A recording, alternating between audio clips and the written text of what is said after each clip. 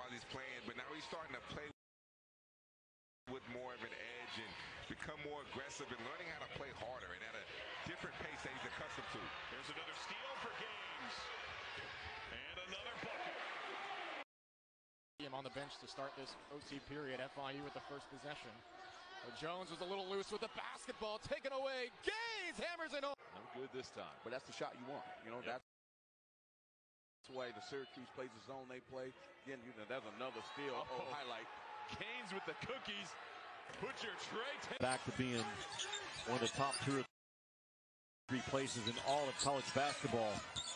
Their home court is fantastic. Notes they had a rip. Now we've seen a lot of blocks from behind.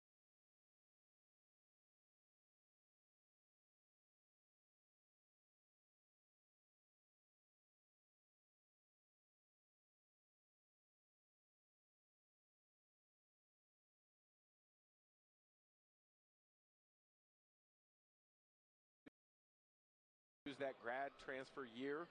Uh, and so you understand by this point, hopefully in your career, it's big picture. Win games. Little jab step. Gaines holding, looking. Now he'll drive into the paint. Pivot, turnaround jumper, good from eight feet. Handler with Walker hurt and Gaines. And Gaines picks the pocket of Jordan Crawford. And one. Blazers. They bring that extended zone pressure and then give it away. Eric Gaines lays it in. Farmer try to get in there for the rebound. Here comes UAB. And Gaines set up for a three. Switch.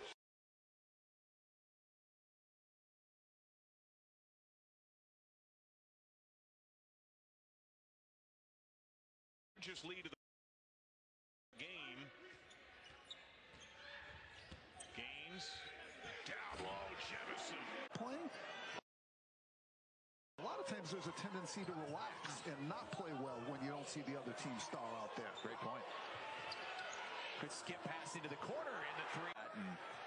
Another scoring drop for UAB. They went over five minutes without a point in the first half. It was part of a 17-4 run for North Texas. The UAB in triple overtime.